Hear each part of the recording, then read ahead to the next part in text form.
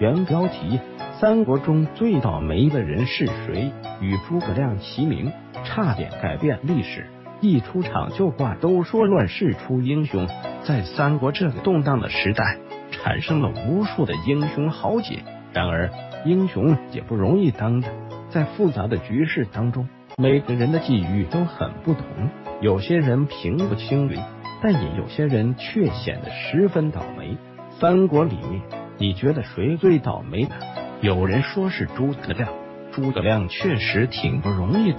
本来是苟全性命于乱世，不求闻达于诸侯的一个人，本来可以做一逍遥散仙，却被迫卷入兵荒马乱当中，临危受命，殚精竭虑，一生为刘备一家操碎了心，最后还失败了。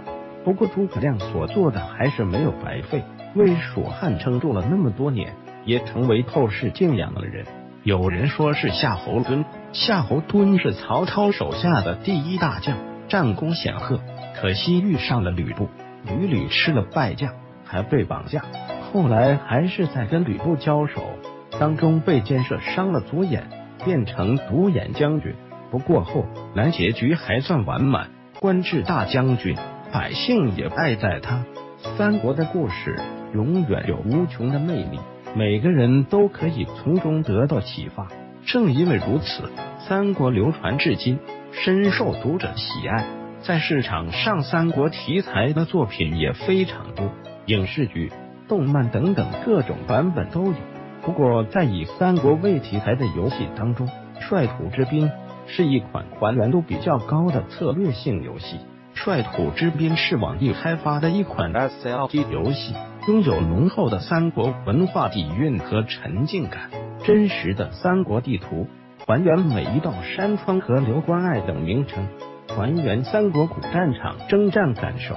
十二月五日到十二月十二日，率土之滨开启老玩家回归专服报名，只要是在十月二十二日前连续三十天或以上没有登录游戏，且角色历史势力值大于一千的玩家，均可获得回归资格。在一场战役当中。老盟主快要撑不住了，发出求救信号。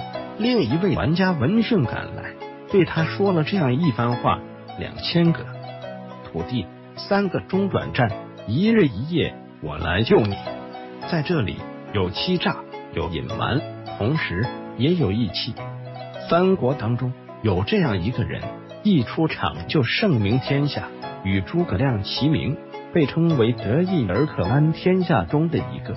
那就是被称为凤雏的庞统。庞统是刘备继诸葛亮之后又得到的一员顶级谋士，而且庞统深谙识人之术和兵法韬略，恰好补了诸葛亮的短板，是刘备的另一个筹码。不过，庞统名气那么大，铺垫那么多，没想到第一次正式上场就挂了。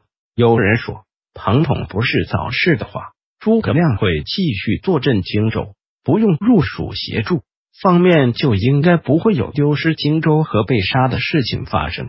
整个三国历史都会因庞统而改变。庞统本来有希望改变历史，谁知道还没好好发挥自己的才能就死了。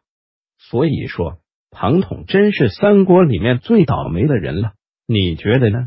返回搜狐查看更多责任编辑。